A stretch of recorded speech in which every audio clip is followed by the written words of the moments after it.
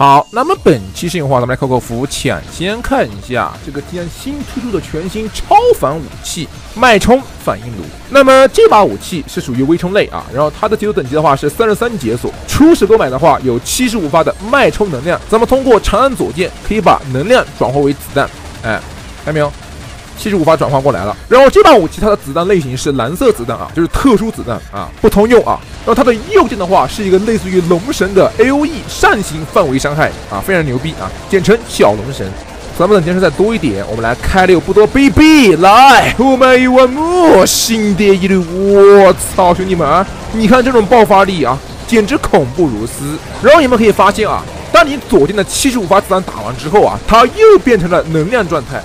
这时候你就要再次转换啊，成为一个永动机，对吧，兄弟们啊？这把武器理论上来说啊，子弹是无限的，子弹是无限的，兄弟。这棒子的创意啊，确实牛逼，兄弟们，给我们的赵玄点赞。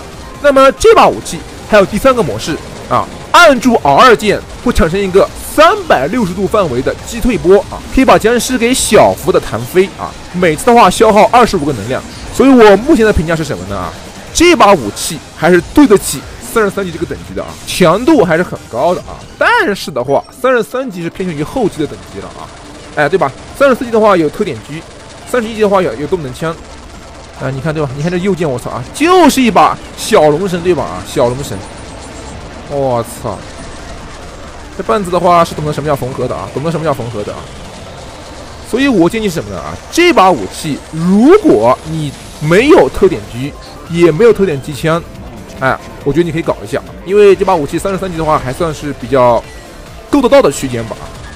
它的刷屏能力、控场能力，还是对得起一把超凡武器的啊啊！然后它这把武器亮点在于，它几乎是无限子弹，好吧，不需要捡箱子，所以它的续航时间非常持久啊，对吧？像什么暗雷兽啊、动能枪的话，咱们还还有这个续航焦虑啊。不过子弹基本也打不完就对了。这把武器这个机制还是比较新颖的啊。为这个赵权点个赞，但是的话也也算是个缝合怪吧啊，缝合怪对吧？缝合了龙神，咱们还是老样子来这个 V 字形，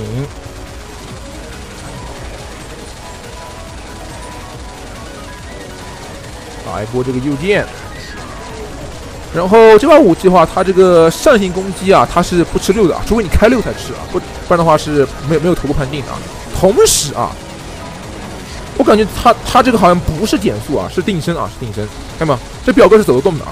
如果减速的话，将是走不动的啊。所以这个这把枪的话，就是对吧？毕竟是金框武器嘛。再来个减速的话，就堪比龙神了，所以也算是比较合理吧。哎，对吧，兄弟们？这把这把枪真的是我操，范围 A O E 伤害啊！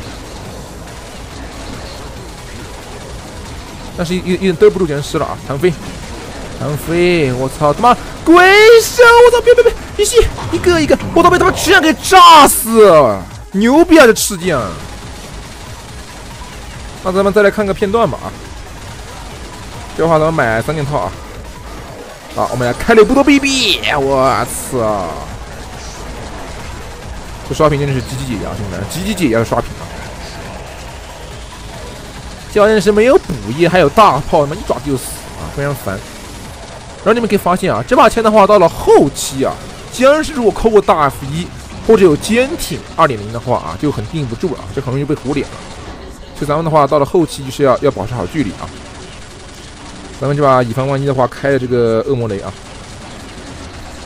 这枪的话玩法非常简单啊，左键充能，右键输出，R 键弹飞，就这么简单，就这么简单啊，不需要动脑子的这把枪。这张的话可能要小心点，这个僵尸糊脸上来，知道吧？定不住了，定不住。他妈还有钩子嘞！起飞，让恶魔毁灭一切。咱们继续充能，因为这把枪的话是一把微冲啊，它射速比较快，这充的话其实也不慢。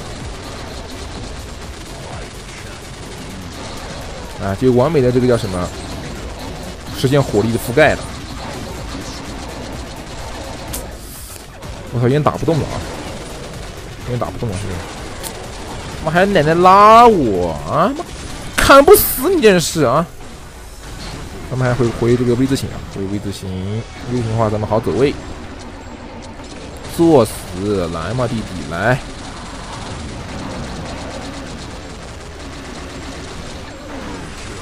他这个距的话，感觉不是特别远啊。距离的话，感觉就七米左右吧，七米的距离啊。我操！标注起飞，让恶魔毁灭一切。好，他们这个平台这儿。然后的话，我个人不是很建议你们用 R 啊，因为 R 的话，它每次需要消耗二十五发啊，非常的叫什么非充能啊。咱们不如多弹点右键对吧？啊，打一会儿。但如果坚持虎脸的话，咱们还是还还是要靠 R 一键把这个弹飞的啊。起飞，作死。哎，也就这样的嘛，这把武器，创意很好，机制很好，啊，但到了后期的话还是很刮痧的啊。就僵尸等级上来之后啊，然后对吧，抗性也有了，就有点打不动啊。但如果你没有特点狙和没有特点机枪的话，是可以搞一搞的这把武器。操他妈，直接走脸上来了！我操，这棺材！